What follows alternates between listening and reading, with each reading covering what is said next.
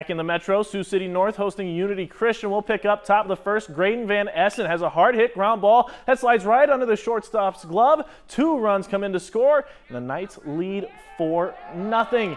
Stars up to bat now, two on, two out. Kale Walrod hits a line drive, and that takes a wicked hop there past the right fielder. Two come in to score, and it's now 4 to 2. We'll go to the bottom of the third. Parker Peterson shoots a hard hit ground ball, and that scores Jack Mogensen from second, and the North Stars win this one 9 to 8.